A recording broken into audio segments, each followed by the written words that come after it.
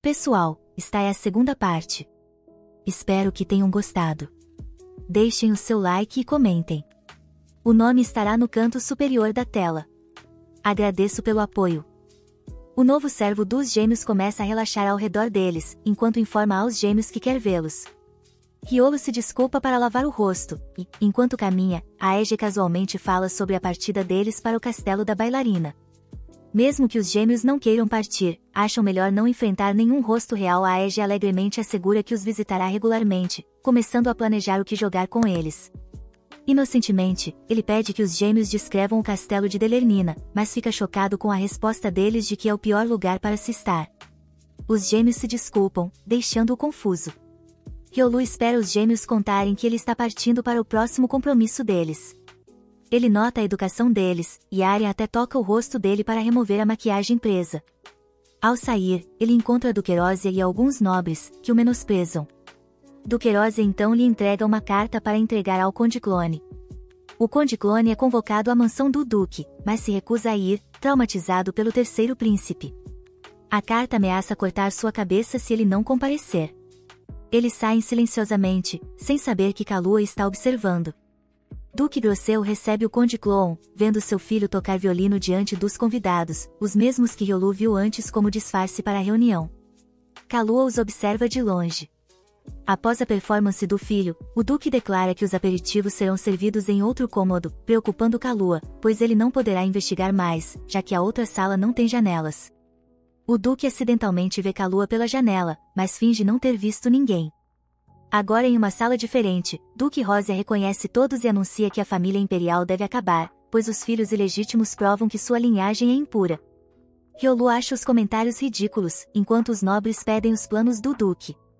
Ele os insta a confiar apenas nele, prometendo enfrentar todos os perigos e lidar com tudo, ganhando a confiança deles.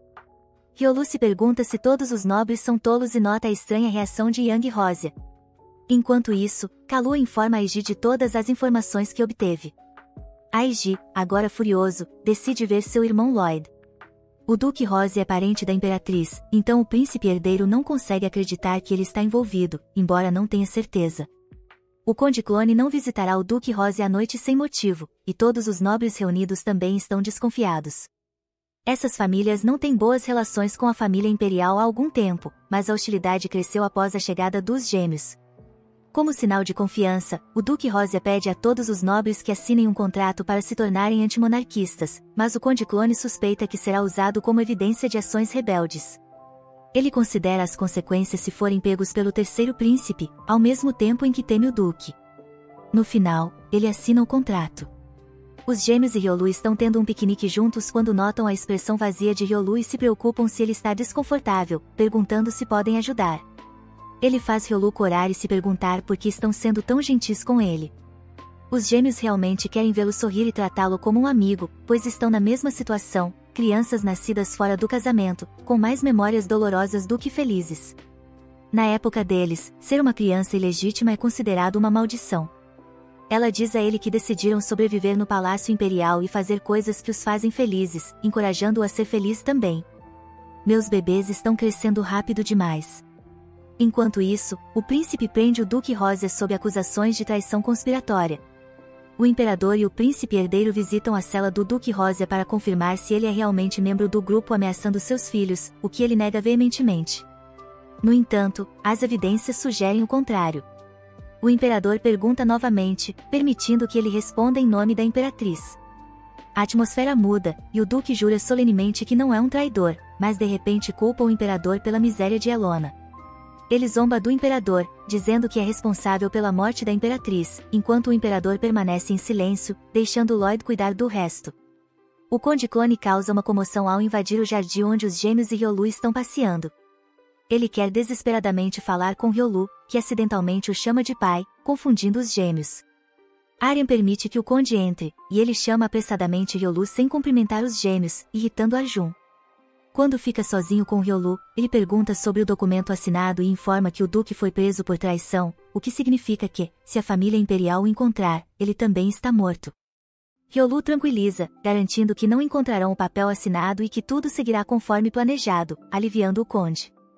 Enquanto isso, Jason está sendo tratado novamente por Alex, e seu guardião está pronto para ver seus mestres. Ryolu visita a prisão onde o Duque Rose está detido e convence os guardas de que entregará comida para o Duque. Após uma inspeção não muito rigorosa, os guardas o deixam entrar. Quando está dentro, ele transmite uma mensagem cifrada ao Duque e pede que ele tenha cuidado enquanto come. O Duque sorri, esperando o pergaminho dentro da torta. É o dia dos gêmeos partirem para o castelo de Delornina. Quando todas as preparações estão feitas, todos esperam por eles, exceto pelo segundo príncipe, que exagerou em seus poderes novamente. Os dois príncipes expressam seu afeto, enquanto o imperador permanece em silêncio, algo esperado pelos gêmeos. A Ege estará guardando-os no caminho para o castelo com Kalua, já que o príncipe herdeiro está acorrentado por seus deveres. Quando estão prestes a sair, encontram o imperador atrás, parecendo triste e se afastando. A comunicação nunca foi ensinada na escola real, de qualquer forma. A Ege instrui Kalu a ficar em cima da carruagem para vigiar os gêmeos, enquanto ele os seguirá de trás. Kalua segue a ordem e voa. Quando a Ege vê Ryolu caminhando, tenta chamá-lo, mas ele foge, parecendo suspeito. Após seguir Ryolu na floresta, a Ege descobre a cicatriz, mas é tarde demais para impedir Ryolu de envenená-lo.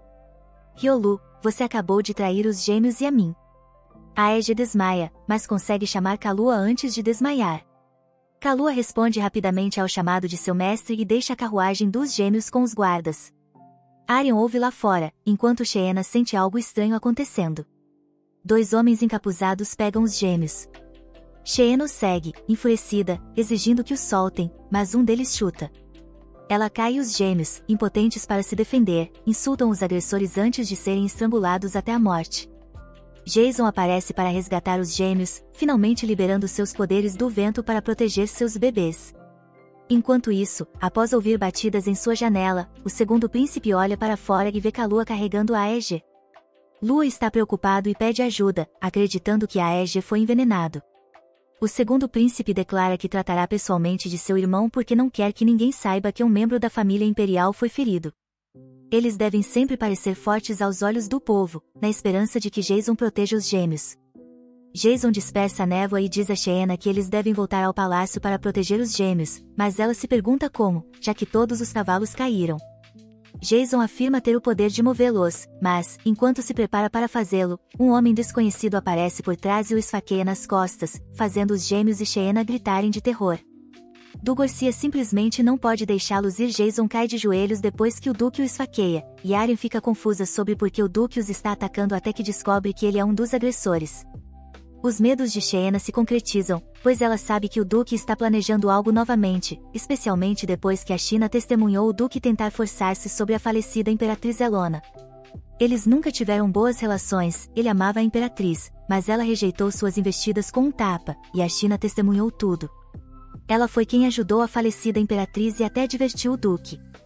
Quando o Duque levanta a espada tentando matar a China, Arya, que está tremendo de medo, tenta interpor-se em seu caminho, os homens do Duque capturam os gêmeos e os forçam a cheirar um lenço, fazendo-os desmaiar.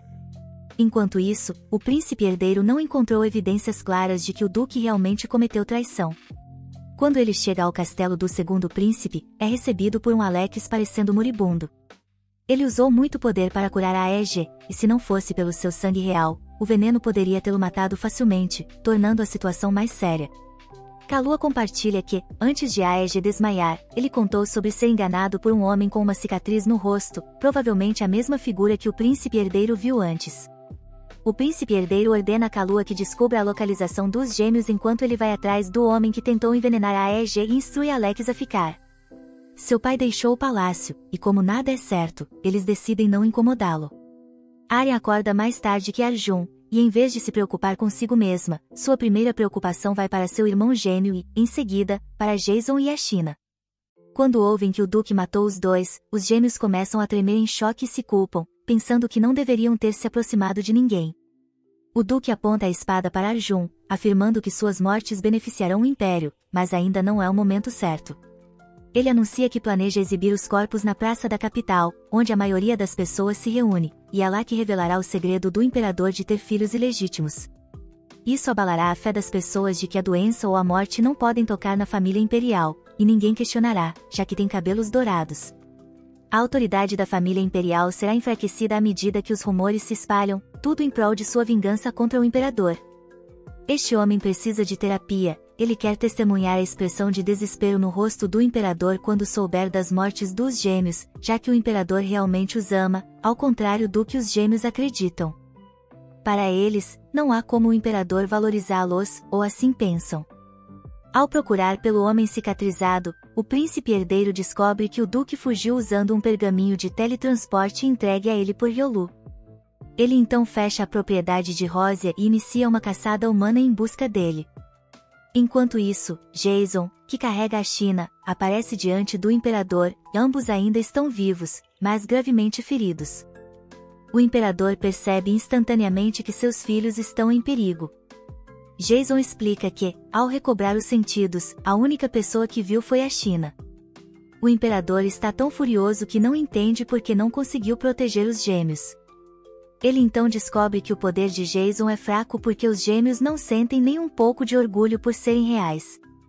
O imperador o deixa ir, chamando médicos para curá-los, enquanto Jason compartilha que, antes de a China perder a consciência, ela conseguiu revelar o nome do Duque. Excelente trabalho até o final, Sheena.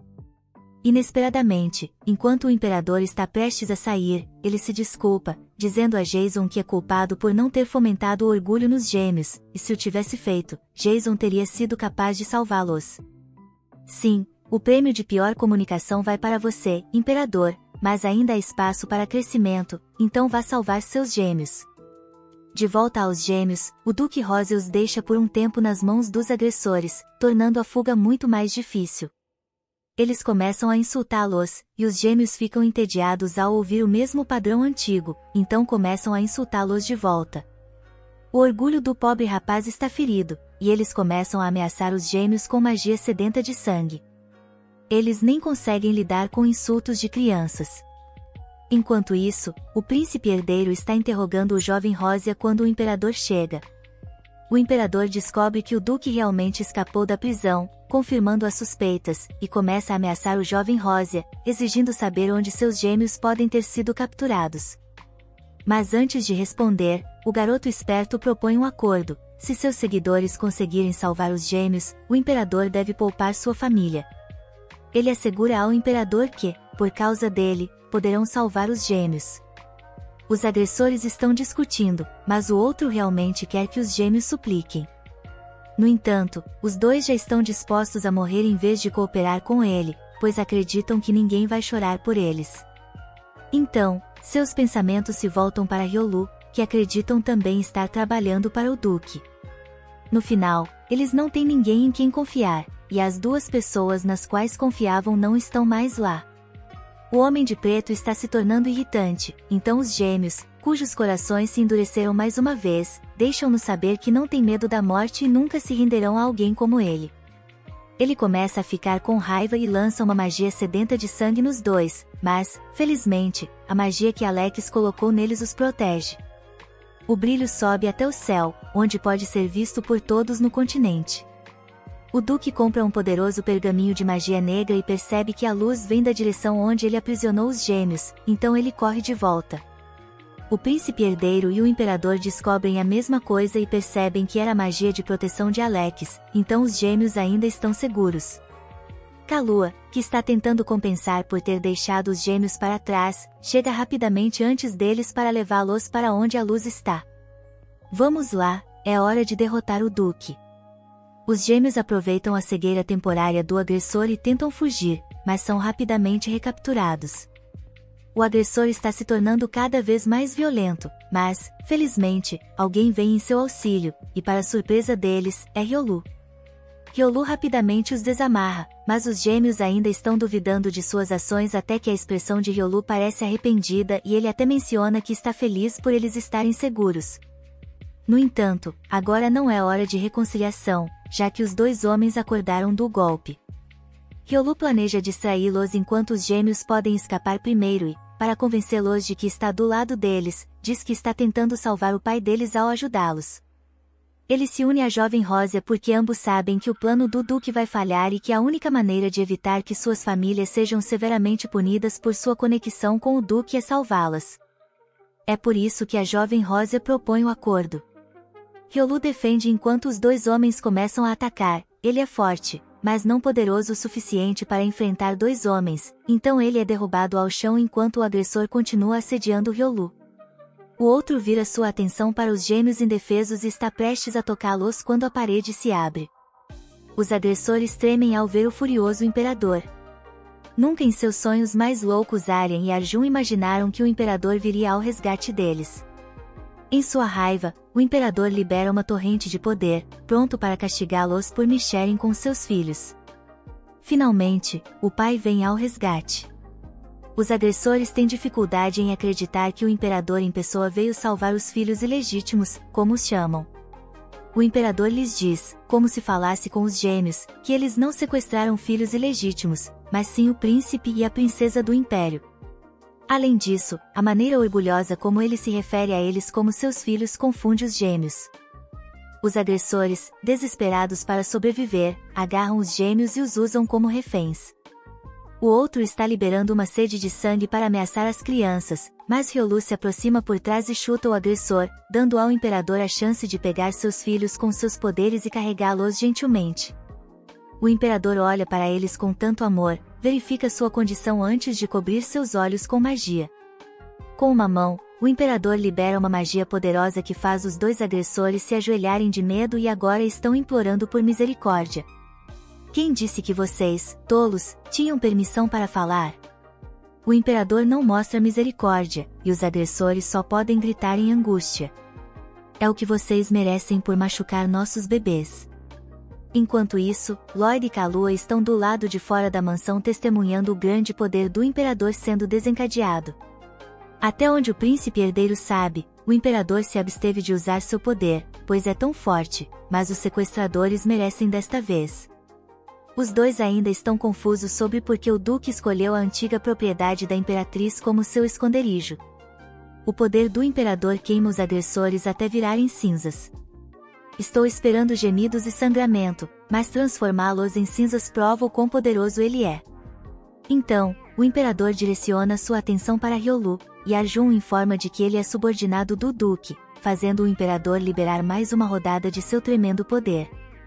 No entanto, Aryan confirma de repente que Ryolu tentou salvá-los e não é uma pessoa má. E olha quem finalmente aparece, o Duque. Ele parece tão certo de si mesmo que poderia derrotar nosso imperador ali mesmo. O imperador faz o Duque ajoelhar-se com facilidade e, pela última vez, mostra misericórdia ao Duque, levando em consideração sua relação com sua esposa, e ordena que ele retorne obedientemente à cidade imperial. O Duque não para de culpar o imperador pela morte do imperador Celona, e os gêmeos ouvem em silêncio enquanto o imperador tenta esclarecer as coisas. Ilona estava gravemente doente, com apenas três anos de vida, então ele transferiu seu guardião para prolongar a vida dela, mas isso não impediu sua morte. O Duque rebate, alegando que Ilona deveria ter sido sua esposa se o imperador não a tivesse roubado, como se tivesse certeza de que ela o escolheria. Sua obsessão o está enlouquecendo. O duque continua atacando o imperador, acusando-o de ter uma amante. O pergaminho tem o efeito de destruir o estado mental de alguém, transformando os cabelos do duque em branco e o deixando permanentemente incapacitado. Ryolu cospe sangue, deixando os gêmeos preocupados, e correm para ver se ele está bem. O imperador percebe que é por causa do efeito bumerangue do pergaminho da sede de sangue que ele usou, Vendo as faces preocupadas dos gêmeos, ele ordena que Lloyd leve o Duque Rose e Ryolu de volta ao palácio para receberem medicação. Kalu ainda não suporta Ryolu por ter machucado Iji, enquanto o príncipe herdeiro o adverte a se preparar para a punição por ter machucado o terceiro príncipe, o que Ryolu aceita. No entanto, ele implora ao imperador para poupar a propriedade Rósia, e logo o imperador percebe que ele é a carta na manga. O jovem Rosa está tão certo de que o imperador concorda com Ryolu, pois ele se sacrificou para proteger os gêmeos, e isso diminuirá sua punição. Ryolu se desculpa com os gêmeos por colocá-los em perigo e por invejar a felicidade deles, percebendo que fez acreditar que filhos ilegítimos estão destinados a serem infelizes. Os gêmeos aceitam suas desculpas e, com um sorriso, desejam felicidade a ele. Finalmente, o caso está encerrado, e os gêmeos ficam sozinhos com o imperador. o imperador percebe que os gêmeos estão sofrendo estando com ele e decide ajudá-los a serem livres. Desta vez, ele os chama diretamente de seus filhos e promete nunca mais abandoná-los. Os gêmeos ainda acreditam que ele não merece perdão, mas suas palavras, como o pôr do sol atrás deles, são tão calorosas que eles não conseguem conter suas lágrimas. Enquanto o imperador se apressa para abraçá-los, é a primeira vez que eles têm um abraço tão acolhedor o imperador está preparado para ouvir tudo o que eles têm a dizer.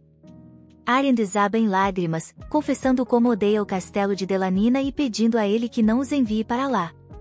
O imperador percebe como foi insensível por não pensar em seu sofrimento e os abraça mais uma vez. Os gêmeos, que mantiveram suas emoções enterradas por muito tempo, finalmente deixam suas emoções saírem, expressando seu ódio por ele. Os gêmeos sentem o imperador começar a tremer enquanto ele diz a eles o quão profundamente arrependido está e expressa como realmente quer que eles fiquem com ele. Depois de um tempo chorando, os gêmeos adormecem nos braços de seu pai. Finalmente, eles conseguiram se comunicar. Enquanto isso, o príncipe herdeiro leva o duque para sua propriedade e informa o jovem Rosa sobre sua punição, prisão domiciliar vitalícia, confisco de ativos, exceto pela mansão, e um exílio de 10 anos. O jovem mestre aceita sem surpresa, pois já previra o destino de seu pai por se rebelar contra a família imperial. Ele expressa gratidão por poder manter sua casa e permanecer vivo, mas fica surpreso com a leveza da punição, acreditando que é tudo por causa de Ryolu. Quando os gêmeos acordam, seu pai é a primeira pessoa a cumprimentá-los. Sentem-se desconfortáveis ao redor dele por causa de todo o choro, mas o imperador diz que terão um dia ocupado. Lembrando de Jason e a China, eles primeiro visitam o palácio da segunda princesa. Para surpresa deles, encontram a China viva e correm para ela chorando, agradecendo por estar viva. Descobrem que Jason também está vivo e, antes de a China retornar à sua cidade natal para se recuperar, ela deixa uma mensagem emocionante para os gêmeos, desejando-lhes felicidade e orgulho na linhagem imperial, agindo como uma mãe que nunca tiveram. Enquanto a Ege se encontra na suntuosa mansão de Alex, um ambiente onde as aparências são meticulosamente mantidas, ele se sente compelido a ocultar sua verdadeira natureza na presença dos irmãos gêmeos. Kalua, com sua perspicácia, se aproxima dele, instigando-o a não se perder nas sombras do passado. Este conselho ressoa profundamente em Aege, inspirando-o a cultivar uma determinação ardente, com a finalidade de fortalecer-se e salvaguardar os gêmeos, cuja fragilidade o comove. Após esse encontro crucial, o imperador, figura majestosa e enigmática, conduz seus filhos para o próximo compromisso em sua rotina régia. Surpreendentemente, este compromisso revela-se nada mais do que uma pausa para desfrutar de lanches, contrariando as expectativas dos gêmeos quanto à agitação anunciada pelo imperador. Em meio a uma conversa sobre a renovação de seus aposentos, Arya expressa sua apreciação pelo design elaborado, sugerindo que simples brincadeiras ao ar livre poderiam ser mais atraentes. Contudo, sua sugestão é recebida com uma indiferença formal pelo imperador, que, apesar disso, anseia por ser chamado de pai de maneira afetuosa pelos gêmeos, que, por sua vez, recusam-no com uma frieza contundente. Uma ferida emocional profunda está prestes a ser infligida, indicando um trajeto árduo para a reconciliação. Concordando com as opiniões dos gêmeos, o imperador imediatamente emite ordens para que os habilidosos magos do seu séquito reformem o quarto, demonstrando sua prontidão em atender aos desejos dos herdeiros, a curiosidade dos gêmeos em relação à magia não escapa à atenção cada vez mais atenta do imperador, que os convida para testemunhar a perícia dos magos. Com olhares maravilhados, os gêmeos mal conseguem fechar a boca diante do espetáculo mágico, e o imperador, com um semblante orgulhoso, revela que sua equipe de construção mágica é capaz de completar a reforma de um quarto em apenas um dia. A jornada dos gêmeos os leva a um recém-erguido castelo em Delornina, surpreendendo-os ao constatar que o local é completamente diferente da imagem traumática que guardavam de sua antiga residência. Perplexos diante da escolha do imperador de revisitá-los a um local que os assombrou, descobrem, com espanto, que ele planeja destruir o castelo diante de seus olhos. Entretanto, antes de realizar tal ato, o imperador promete revelar-lhes a verdade sobre sua mãe, mergulhando todos na expectativa muito acalentada.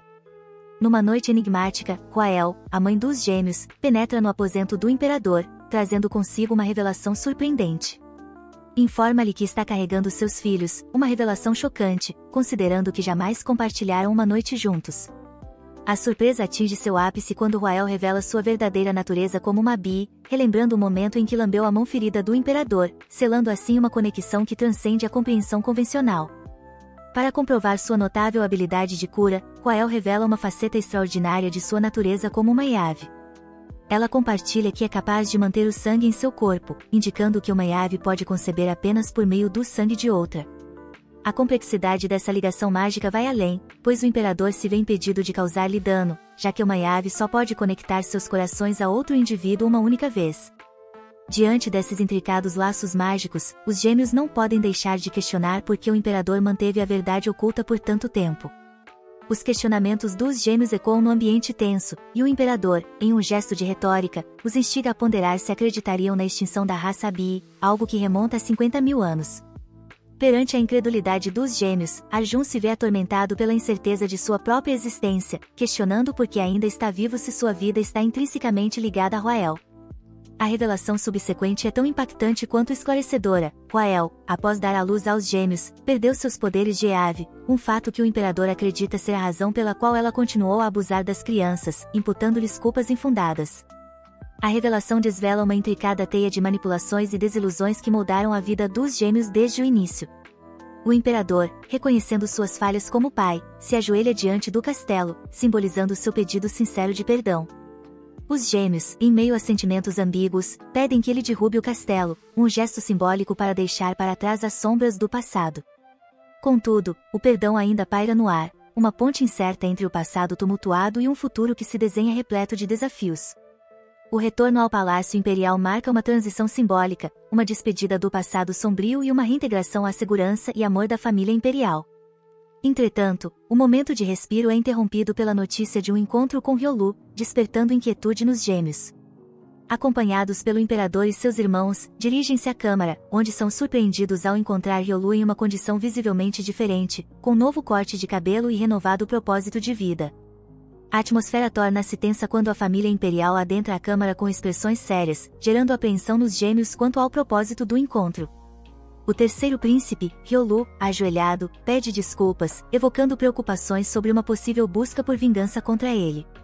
No entanto, a Ege, com uma simplicidade desconcertante, afirma que Ryolu perdeu porque é fraco e que salvá-los já é suficiente. O castigo de Ryolu é banimento temporário, encarregado de investigar cidades como parte de sua busca por redenção. A sagacidade e compaixão do príncipe herdeiro ecoam nas palavras de jovem José, destacando a misericórdia única da família imperial em face dos crimes cometidos. Lloyd acrescenta uma reflexão sobre a juventude dos gêmeos, enquanto o imperador proclama que nenhuma criança deve ser sobrecarregada com os pecados dos pais. A justiça é proclamada, com todos os nobres enfrentando punição, exceto o Conde Clone, cujo acordo com Ryolu isenta das represálias dos anti-imperialistas.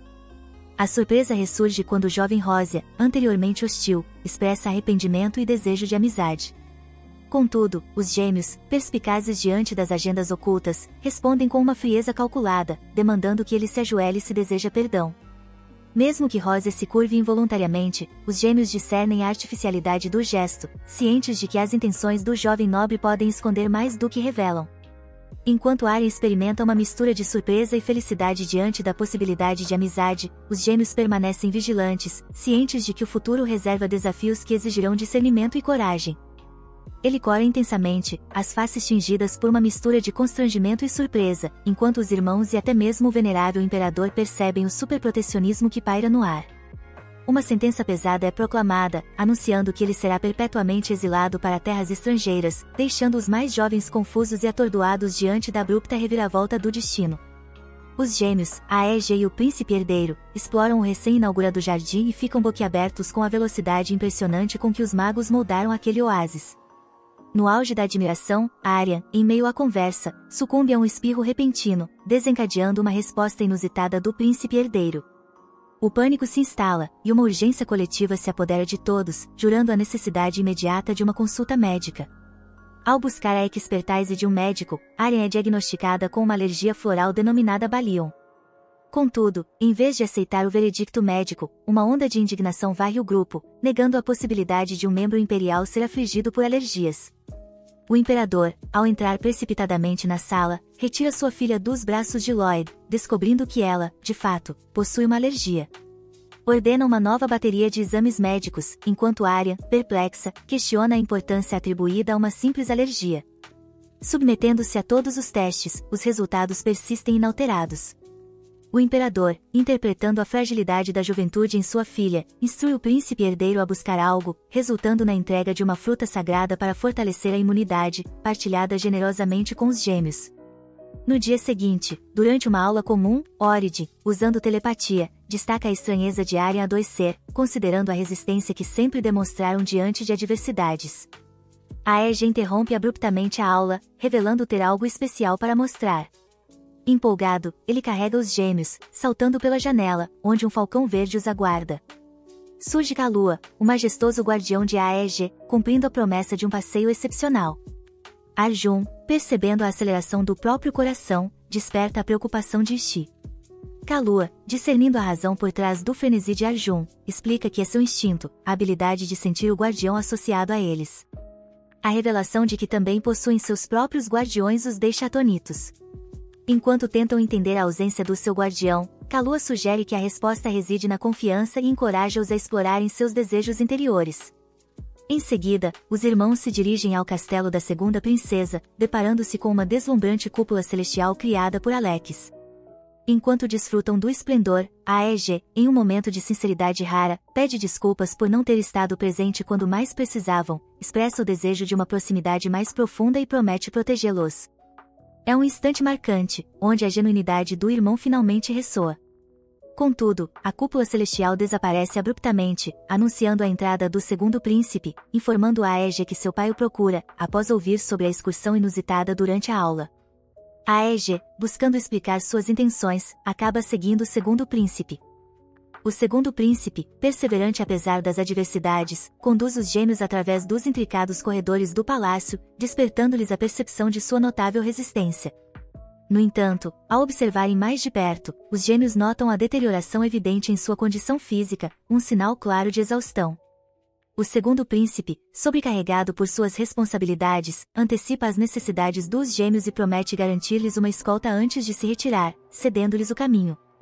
Infiltrando-se no aposento de Alex, os gêmeos deparam-se com um cenário alarmante. O rosto do príncipe está tingido de vermelho febril.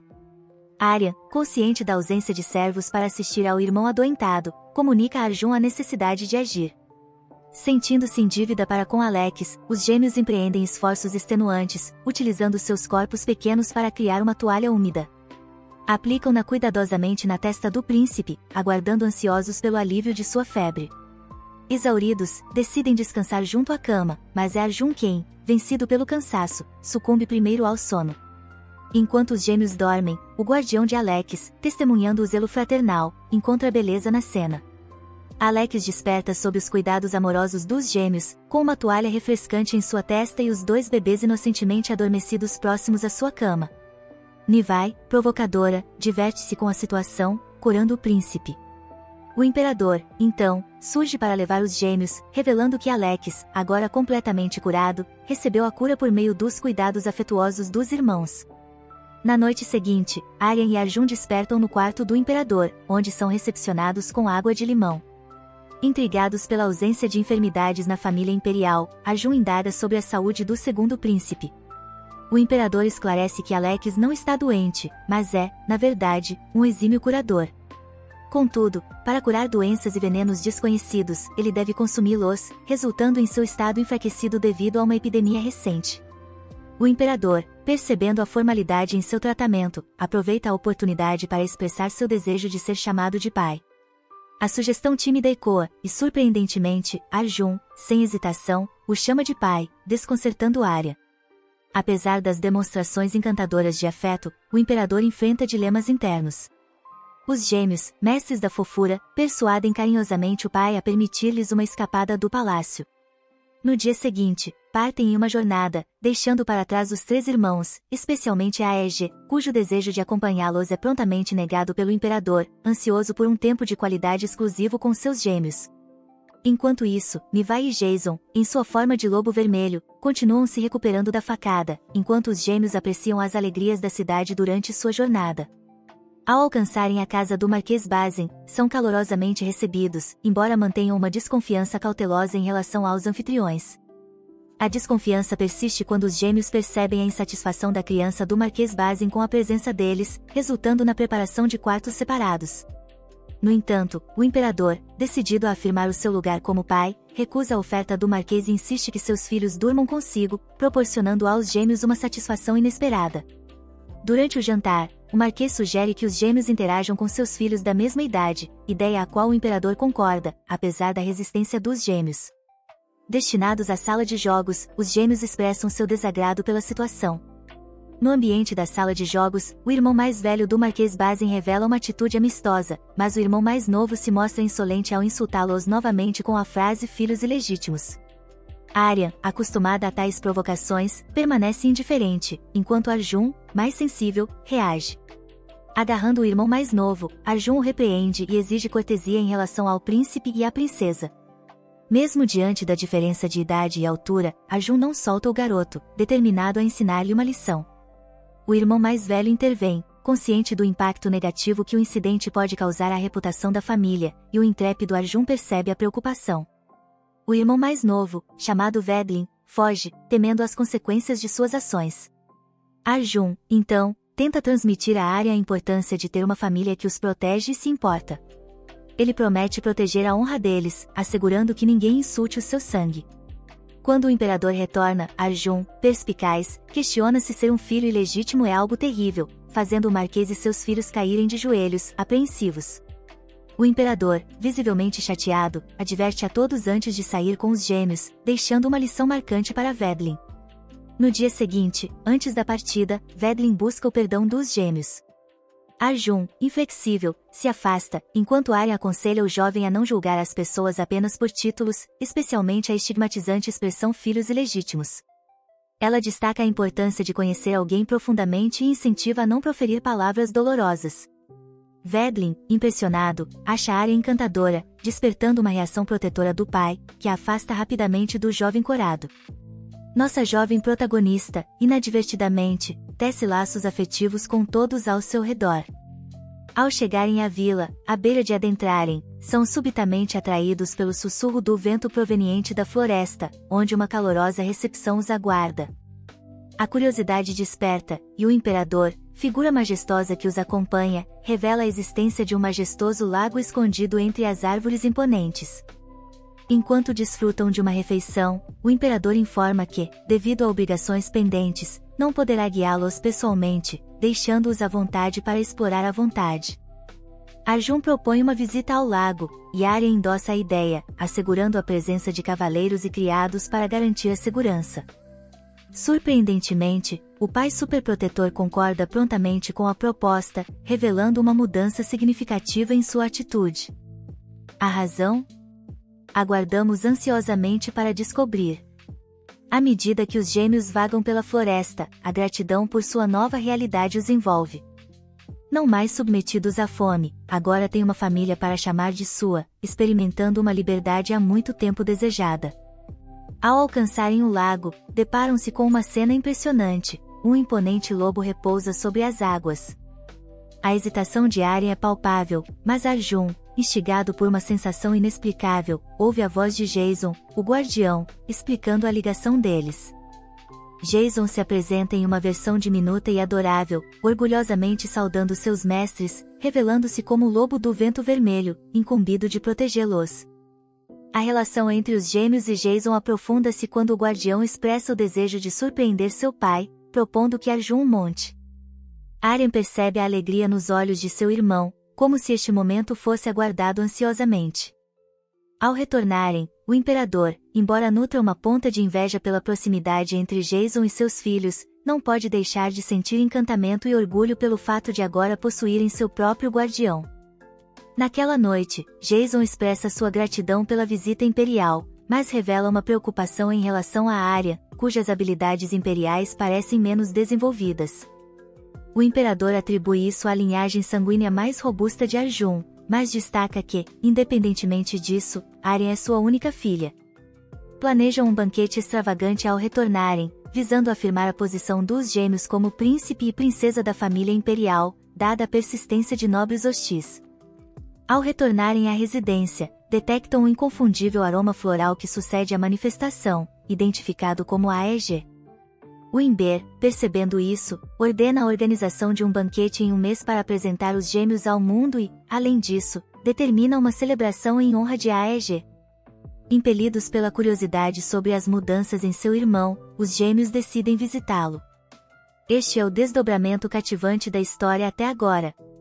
Convidamos todos a se inscreverem e ativarem as notificações para receberem atualizações sobre esta e outras narrativas, proporcionando a oportunidade de serem os primeiros a explorar as próximas reviravoltas.